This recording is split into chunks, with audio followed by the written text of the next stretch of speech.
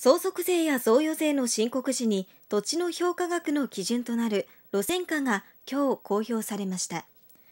現全体の標準宅地の変動率はマイナス1.3%と30年連続の下落で下落幅も拡大しました。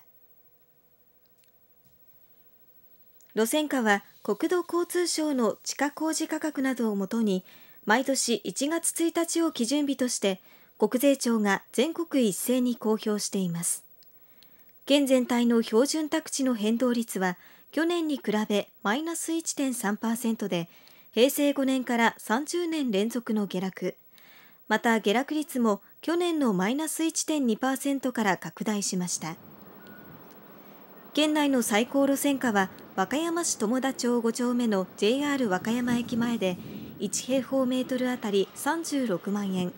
26年連続の最高価格となりましたが9年連続の横ばいです。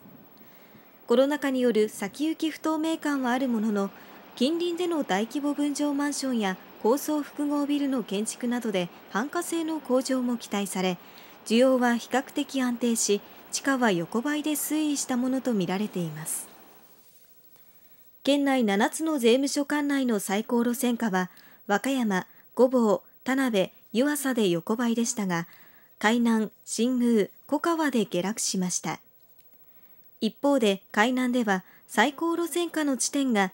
海南市名高の中央通りから海南市名高の国道370号線 JR 海南駅前広場やロータリーの向かい側に変わりました。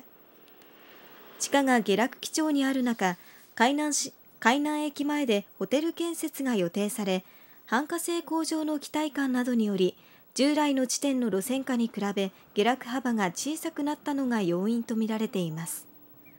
路線価は国税庁のホームページで公開されています。